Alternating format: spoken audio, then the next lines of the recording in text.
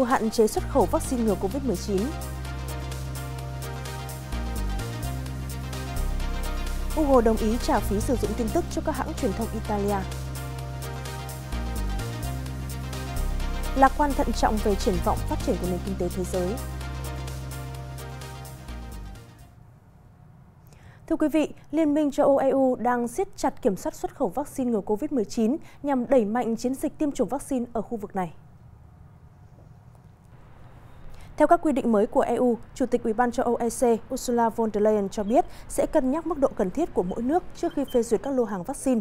Trước đó, Tổng thống Pháp Emmanuel Macron đã phải thừa nhận rằng trong khi Mỹ đang bơm nguồn lực khổng lồ để mua vaccine, thì EU lại đang chậm chạp trong việc bắt đầu triển khai việc tiêm chủng. Hiện việc tiêm chủng vaccine ngừa COVID-19 gần như chỉ hạn chế ở những nước giàu.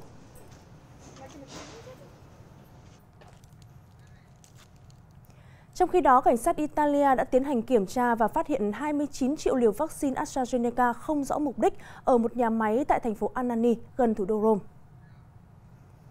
Truyền thông Italia cho biết cơ quan chức năng đã nhận được thông tin từ Ủy ban châu Âu về số lượng lớn vaccine AstraZeneca được cho là đang chuẩn bị xuất sang Anh và yêu cầu Italia xác minh nguồn gốc cũng như điểm đến của lô vaccine này. EU cho rằng nếu AstraZeneca muốn xuất lô vaccine này ra ngoài EU, hãng này phải trình yêu cầu cấp phép xuất khẩu. Phản hồi về thông tin này, AstraZeneca cho rằng 13 triệu liều trong số vaccine này được dành cho chương trình COVAX của Liên Hợp Quốc và 16 triệu liều còn lại đang đợi thẩm định chất lượng để chuyển đến châu Âu.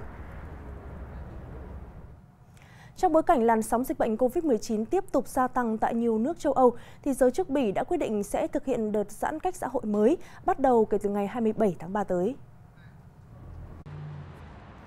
Theo quyết định giãn cách mới tại Bỉ, các cửa hàng không thiết yếu sẽ phải đóng cửa trong 4 tuần, từ ngày 27 tháng 3 đến ngày 25 tháng 4, chỉ phục vụ theo lịch hẹn trước và bán hàng trên mạng.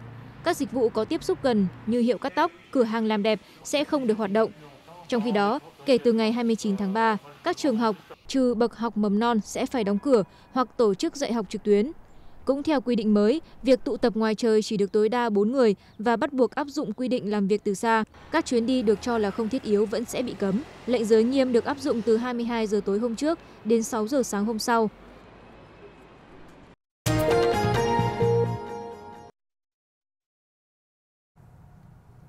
Google đã ký thỏa thuận trả phí tin tức với hàng loạt hãng truyền thông của Italia.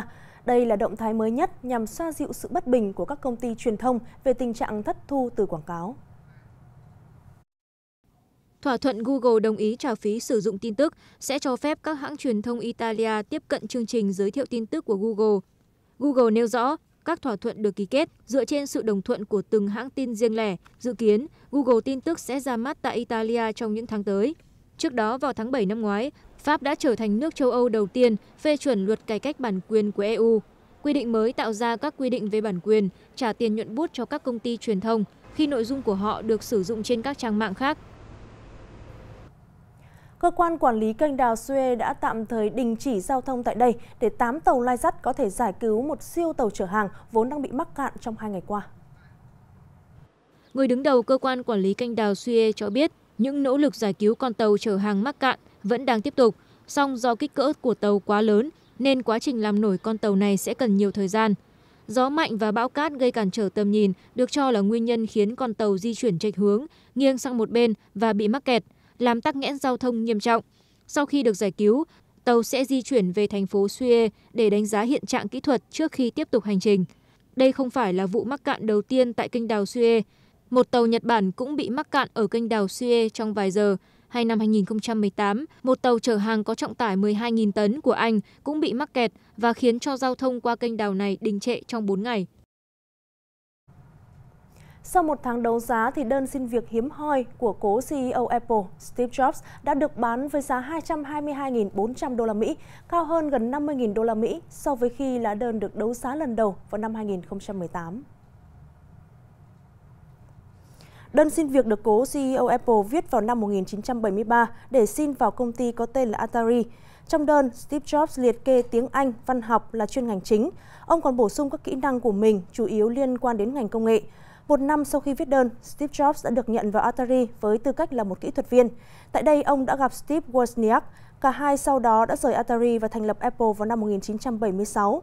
Năm 2018, lá đơn được đấu giá lần đầu với kỳ vọng thu về 50.000 đô la Mỹ. Buổi đấu giá đã thành công ngoài mong đợi khi số tiền thu về hơn 175.000 đô la Mỹ.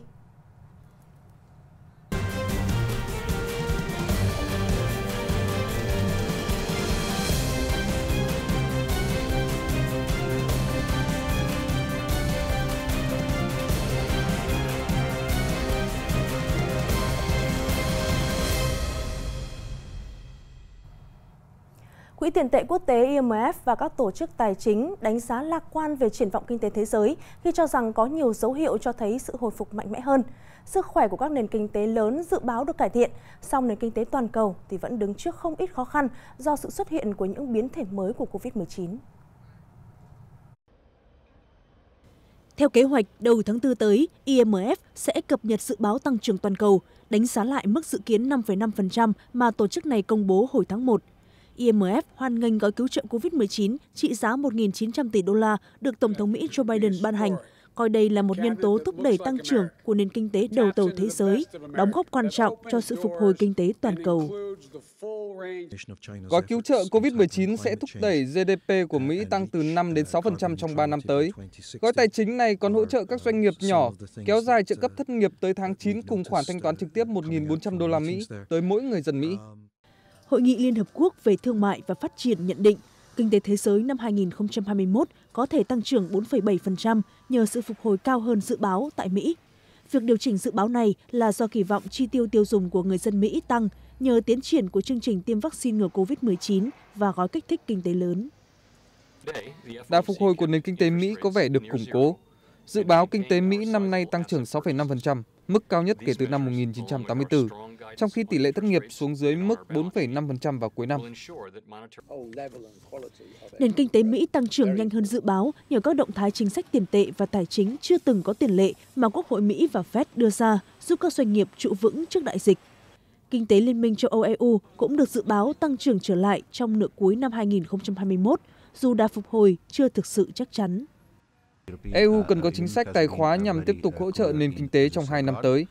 Theo đó, điều khoản thoát hiểm vốn cho phép các quốc gia tự do chi tiêu để khắc phục tác động của đại dịch, nhưng vẫn bảo đảm bền vững tài khóa sẽ tiếp tục được kích hoạt tới cả năm 2022.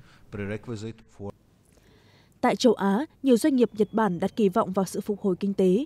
76,8% số doanh nghiệp Nhật Bản lên kế hoạch từng bước mở rộng kinh doanh. Tốc độ tăng trưởng kinh tế của Hàn Quốc năm 2021 được Tổ chức Hợp tác và Phát triển Kinh tế OECD dự báo đạt 3,3%, cao hơn so với dự báo trước đó. OECD nâng mức dự báo tăng trưởng của Hàn Quốc vì tin rằng có kích thích kinh tế của Mỹ tác động tích cực đối với các đối tác thương mại lớn, trong đó có Hàn Quốc.